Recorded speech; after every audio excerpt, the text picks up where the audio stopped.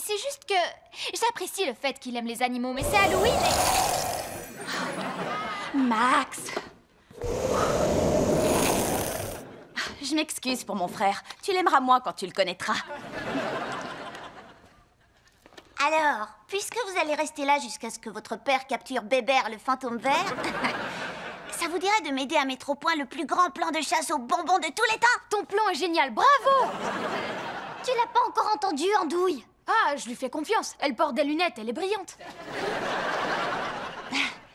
On va aller dans ma chambre. Vous deux, les super-héros, vous allez être les meilleurs complices du monde. Eh, un instant, je croyais que c'était moi ton complice. Mais nous, on a des super pouvoirs. Des super pouvoirs Je suis le fantôme le plus redoutable de la Nouvelle-Orléans, cocotte.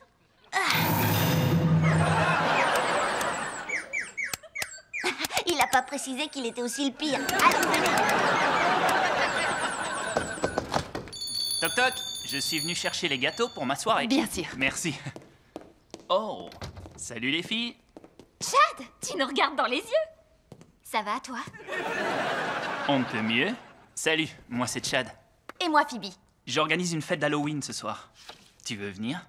Et louper des moments de qualité auprès de ma famille, et tu pourrais être pratiquement n'importe qui, je dirais oui.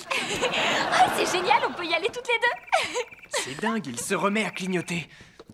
Non, désolé mon vieux, je ne pourrai pas assister à ta petite fête. T'es pas invité. On se voit ce soir, Phoebe. C'est quoi son problème? Oh, le fait qu'il soit mignon, qu'il ait du charme et qu'il ne t'aime pas, c'est pas un problème. Peu importe. Le moment est venu pour moi de capturer le spectre vert.